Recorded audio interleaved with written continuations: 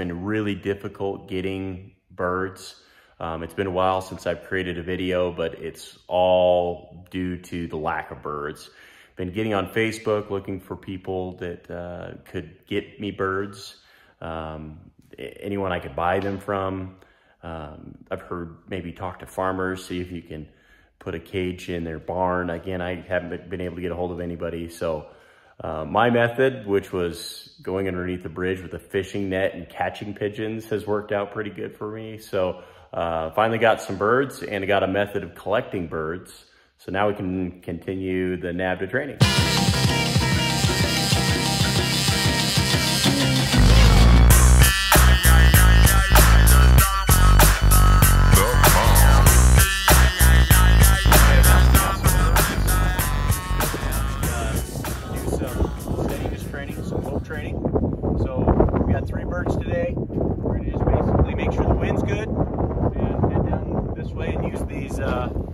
Launcher. And then when uh, he gets close or overpressures it, we'll be launching the bird. So.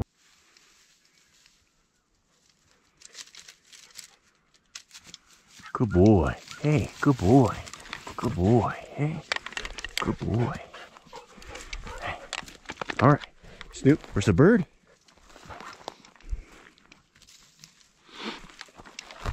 Bird.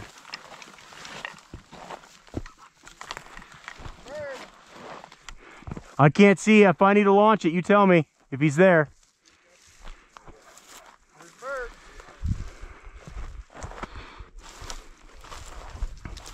I'm not sure where it was. ready? It's in the it's in that grass. Okay. Find bird.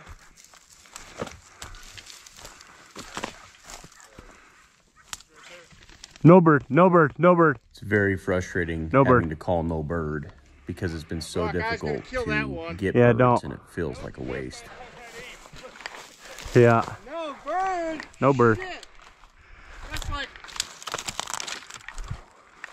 like getting a third base and saying no sex. Yeah. yeah, no bird. There. Okay, come on. Didn't wind it though. Whoa. As you can see, we didn't shoot the bird, but he did get a decent point, and we wanted to reward him Good with boy, gunfire and with, um, obviously, Good boy. retrieve. But that didn't really work out for us because we missed the bird. I was afraid to shoot.